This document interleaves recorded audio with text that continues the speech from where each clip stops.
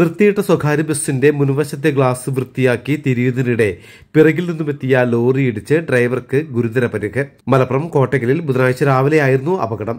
ഗുരുതരമായി പരിക്കേറ്റ നിലമ്പൂർ ചുങ്കത്ര സ്വദേശി ഷാജഹാൻ ചെങ്കോട്ടിയിലെ സ്വകാര്യ ആശുപത്രിയിൽ ഗുരുതരാവസ്ഥയിൽ തുടരുകയാണ്. കോട്ടകിൽ കാടാമ്പുഴ വളാഞ്ചേരി പാതയിൽ സർവീസ് നടത്തുന്ന ബിലങ്ങൽ ബസിന്റെ ഡ്രൈവറാണ് ഇദ്ദേഹം. പുലർച്ചെ വേങ്ങര ഭാഗത്തേക്കുള്ള ട്രിപ്പും കഴിഞ്ഞ് ബസ്സിൽ ഇന്ധനവും നിറച്ചു വരുന്നതിനിടെ ബസ്സിന് സാങ്കേതിക തകരാർ സംഭവിച്ചിരുന്നു. തുടർന്ന് വർക്ക്ഷോപ്പ് ജീവനക്കാരനെ കാത്തു നിൽക്കുന്നതിനിടെയായിരുന്നു ഗ്ലാസ് വൃത്തിയാക്കുന്നതിനായി ഷാജഹാൻ ഇറങ്ങുന്നത്.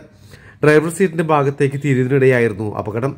പിറകിൽ നിന്നുമെത്തിയ മിനി ലോറി ഷാജഹാനെ ഇടിച്ചിടുകയായിരുന്നു. തലയ്ക്ക് ഗുരുതരമായി പരിക്കേറ്റ ഇദ്ദേഹത്തെ തൊഴിലാളികളും മറ്റും ചേർന്നാണ് ആശുപത്രിയിൽ പ്രവേശിപ്പിച്ചത്. മലബാർ ടൈംസ് കോട്ടയ്ക്കൽ.